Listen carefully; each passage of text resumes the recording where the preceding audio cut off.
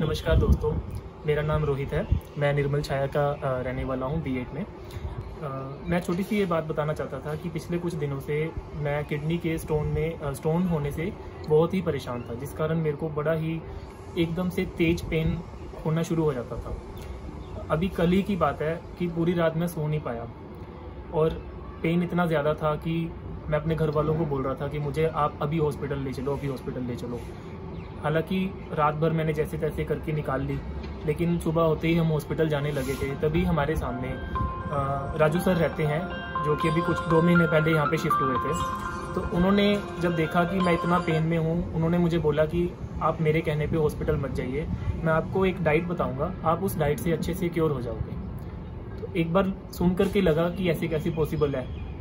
फिर मैंने उनकी बात मान ली, उन्होंने मुझे इंसिस्ट किया, मैंने उनकी बात मानी और मैंने उनकी डाइट फॉलो की 12 घंटे तक। और उस डाइट से आप बिलीव कीजिए, मैं अभी तक एक बार भी मुझे पेन नहीं हुआ।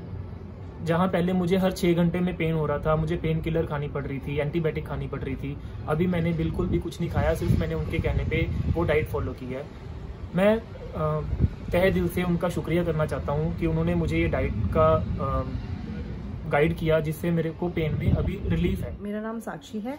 मैं निर्मल छाया टावर बी में रहती हूँ।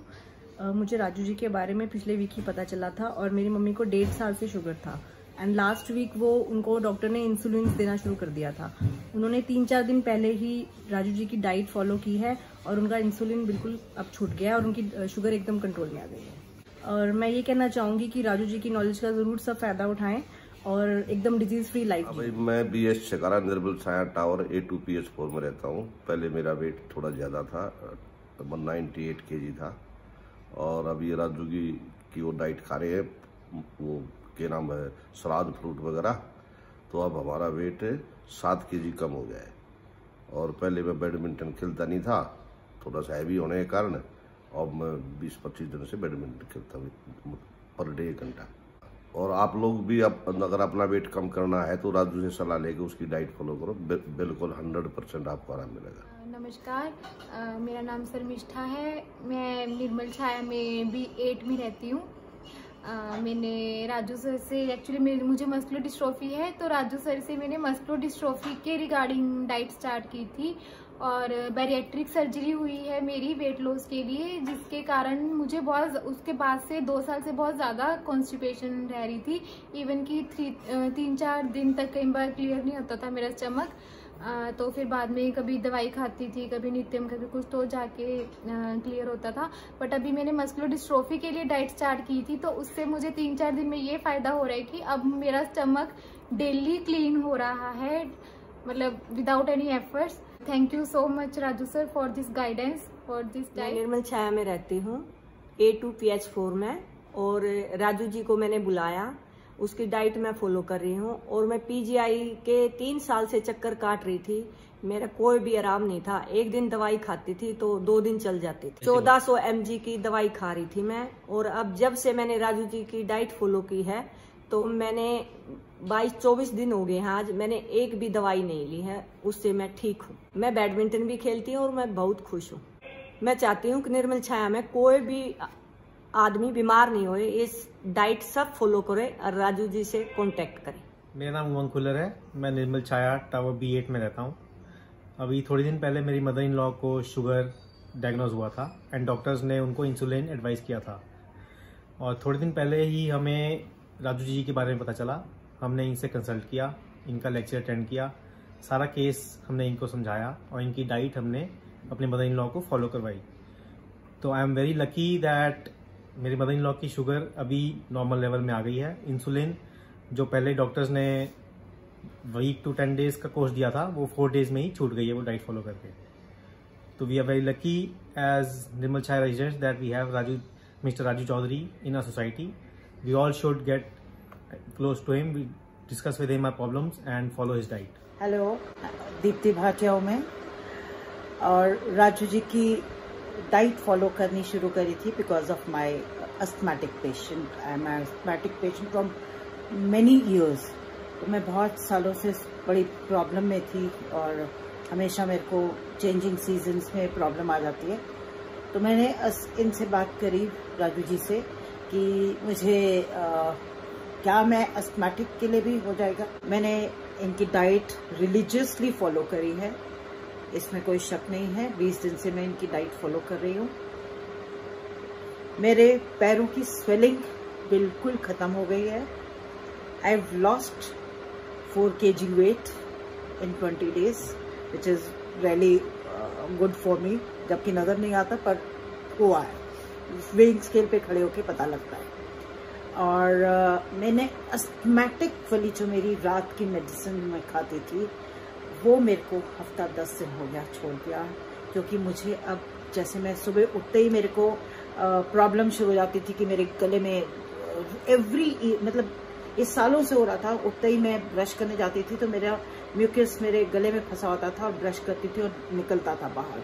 जब तक वॉमिट या वो सब नहीं हो जाता था तब तक वो मेरे को कंफर्टेबल नहीं फील करती थी। बट अब मैं फ्रॉम लास्ट टेन डेज़ मेरे को वो बिल्कुल कोई प्रॉब्लम नहीं है। मेरे वो इचिंग और वो सब खत्म हो गया।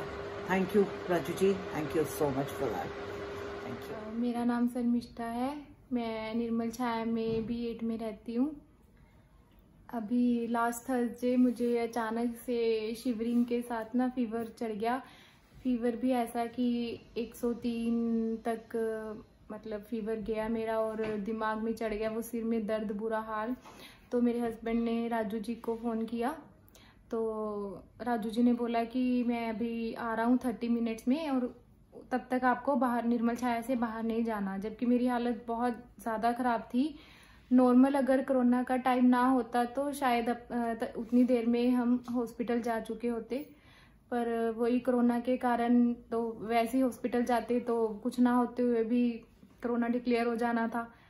तो इतने में फिर राजू जी आए और मेरा फीवर बढ़ता ही जा रहा था। सर में इतना भयंकर दर्द और मैं यही कह जा रही कि मुझे हॉस्पिटल ले चलो, मुझे हॉस्पिटल ले चलो। पर उन्होंने बोला कि नहीं, मैं जो आपको डाइट दूँगा, जैसे जैसे आपको बोलूँगा, आपने वैसे वैसे ही खाना है और जो नहीं बोलूँगा, वो बिल्कुल नहीं खाना है। उसके बाद फिर उन्होंने नारियल पानी पीना था मुझे ज़्यादा से ज़्यादा बट मेरे हालत इतनी ख़राब थी कि मेरे अंदर कुछ भी नहीं जा रहा था।